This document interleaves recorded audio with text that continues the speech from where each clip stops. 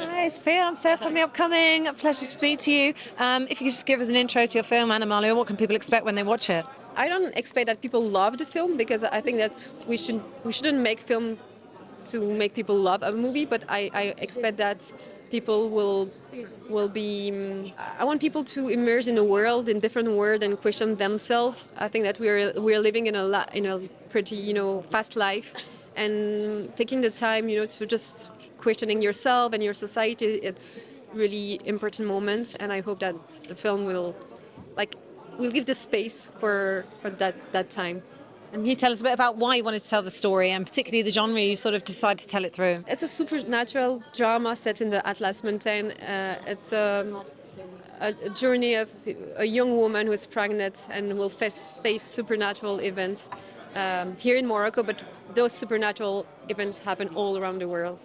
And why is it important for you to have your film here at the Marrakesh Film Festival, particularly being the 20th edition and representing, you know, amazing female talent such as yours? Well, first, I'm very proud because I'm half Moroccan. I live in Morocco and in Rabat, so having the, my, my the premiere of my film here uh, in Morocco after Sundance, because it premiered actually in Sundance in January, is really important um, because, yeah, we're making movies that travel all around the world, but showing them to people uh, from your country is, I think, the most important thing.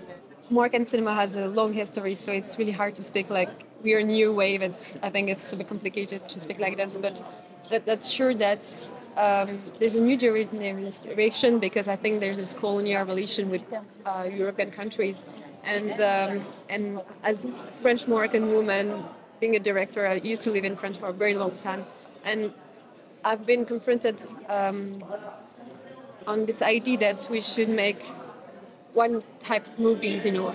And I was, I grew up in China. I used to live in different country, and I didn't feel like I was inspired by many directors from all around the world. So this idea of making what call people sci-fi using supernatural uh, in a real, real realistic story is something that was really important to me. So it's really complicated for me to speak as a new wave, but I think that we want to escape from this stereotypical. Uh, vision of uh, what Arab cinema should be.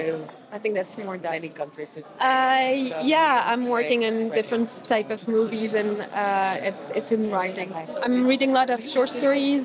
I'm working also on the TV side. On a, uh, there's a, a, a book that we're working on adaptation. Uh, I'm working on an English language movie, but at the same time an Arab language movie. Yeah.